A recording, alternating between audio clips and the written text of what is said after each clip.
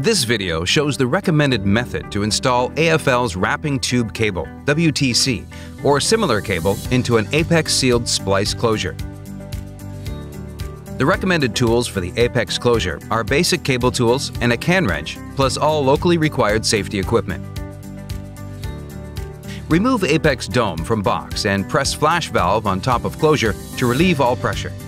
This first step is required when installing a new sealed closure or opening in field during service. Simply remove cap and depress needle to ensure all pressure or vacuum is released. Replace cap and tighten. The Apex base are six ports with orange port plugs, each holding the same diameter cable. There are also optional ground studs with removable bonding linkage between studs.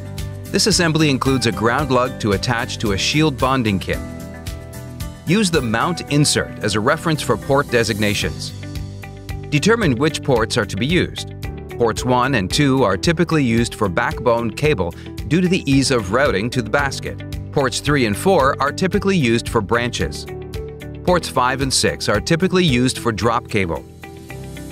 Any port can be used for any cable as needed by the technician. This is a two-ground stud model. Remove the locking ring, pulling the locking ring handle to disengage the locking tab from the ring. Once disengaged, continue opening the handle to open the locking ring clamp. The locking ring is expanded and easily removed from the apex closure. Adjust the apex closure until the mount insert and orientation key are facing up. This will ensure the closure slides out basket up. Now slide the apex base out from the dome. Place the dome in an area so that the O-ring remains free from dirt and debris. If the O-ring is contaminated, simply wash off with cold tap water.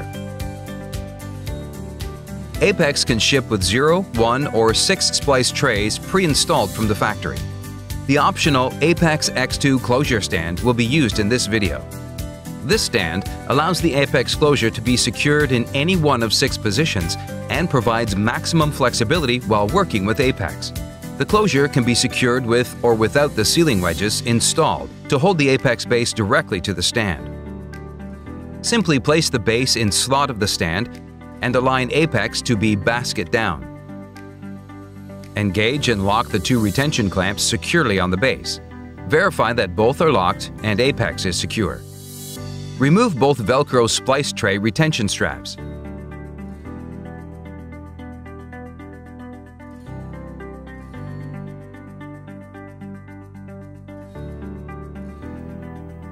Remove splice trays from apex yoke to allow clear basket entrance. Simply spread the hinge pin with a sheath knife or similar object and rotate apex tray from the yoke. Repeat until all trays are removed.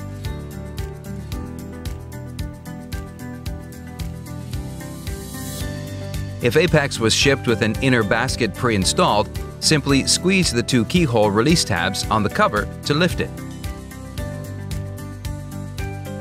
Then disengage the locking tab with a sheath knife and rotate to release the second pin.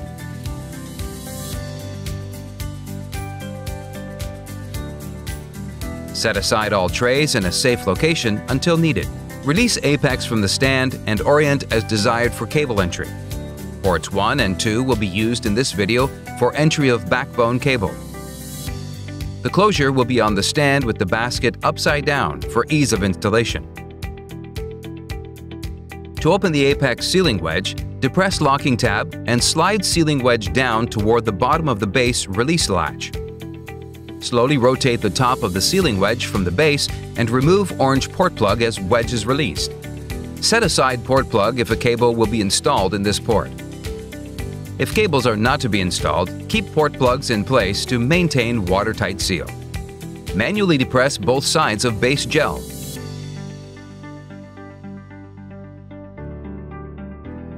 Each time a sealing wedge is removed, manually ensure the gel compression screw is in the fully relaxed open position and extend the wedge sealing gel as shown. Set aside sealing wedge in a clean, safe location. If gel block is exposed to dirt or debris, simply rinse the gel with cold water to remove contaminant. If the base gel has been released from the base, simply replace it in the proper orientation with the locking tabs engaged in the bottom of the base as shown.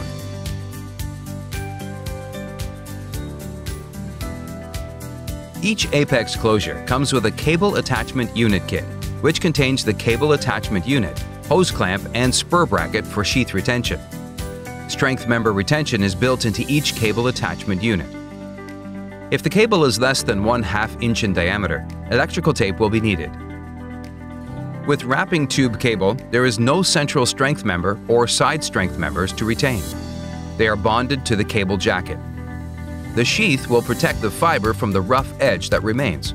For wrapping tube cable, break the cable attachment unit at cut line, discard CSM retention. Since there are no strength members in wrapping tube cable, the sheath may be cut at the cable attachment unit or it can be run to the basket. You may also run the water block tape to the basket by leaving 10 inches of water block tape beyond the sheath cut for added protection. Fiber and water block tape will be secured at the basket yoke. With low fiber count, small diameter wrapping tube cable, tape it at the point where it is secured by the spur clamp. Build small diameter cable up to 1 2 inch with electric tape to engage properly with the spur bracket. Ensure the cable is clean and free from contaminants prior to installing in the cable attachment unit. The cleaned area should extend from the hose clamp to the end of the gel exiting the base.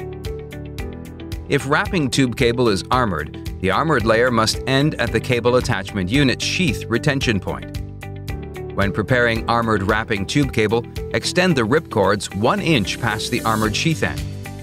Local practices will define shield bond connector. For mid-sheath installation, remove all twist from the cable prior to installing the cable attachment unit to prevent issues with binder orientation. Note the orientation of the cable strength rods and the position of the cable in the cable attachment unit bracket prior to securing the ground attachment. The final position of the ground attachment should put the ground lug on the side as the cable attachment unit is installed. Slide ground plate attachment into armored layer. Once seated in the proper position, assemble ground retention.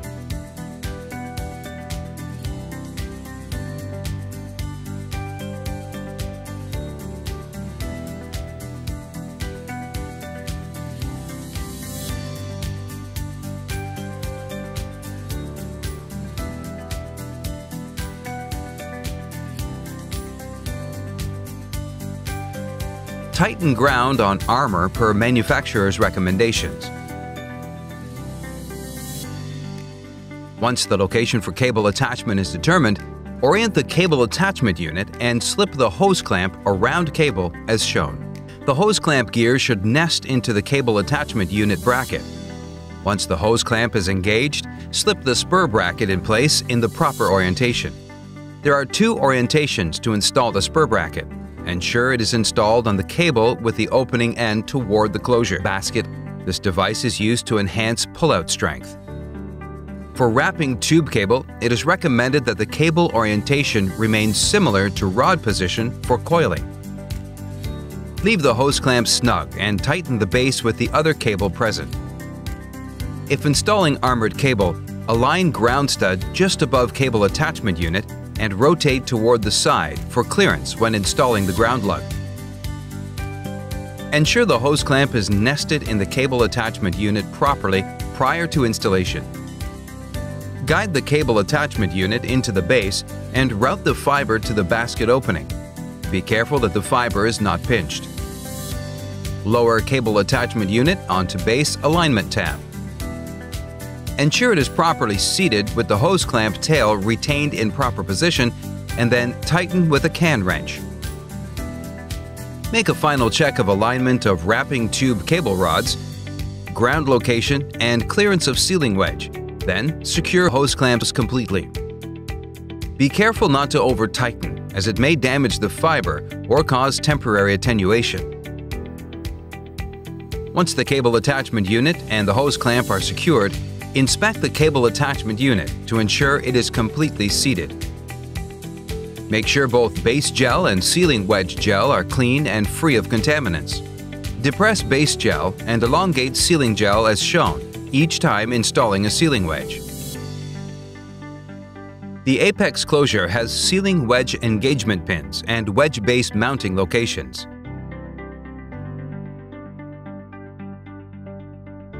Engage sealing wedge into apex base by mating two lower tabs in the port opening and slowly rotate toward the top of the closure. Once closed, depress sealing wedge latch and rotate sealing wedge into locked position. Inspect top and bottom of sealing wedge to ensure it is properly installed. For all cables under 1 2 inch, install small cable bushing over cable and secure with supplied tie wrap. Make sure the head of the tie is in the opening on the bushing. Tighten to just close bushing, but not deform it.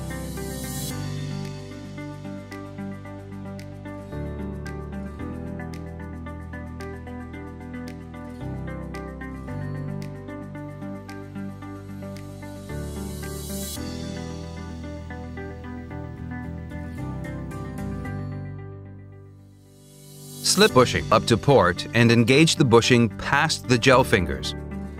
This cannot be done if gel compression screw is engaged. Install material near the apex basket yoke to secure backbone cable to basket using Velcro or tie wraps. Once backbone cables have been installed and sealing wedges are secured, release the apex closure from the stand and rotate it 180 degrees with the basket facing down. Be careful not to damage any cables, tubes, or fibers while rotating the apex closure. Secure apex with basket resting on support and engage locking tabs. Secure fiber cable or tubes on basket close to the yoke using Velcro, foam retention, or tie wraps. Tighten all six gel compression screws prior to final assembly of apex. Secure apex ground cable to shield bonding kit before or after wedge placement.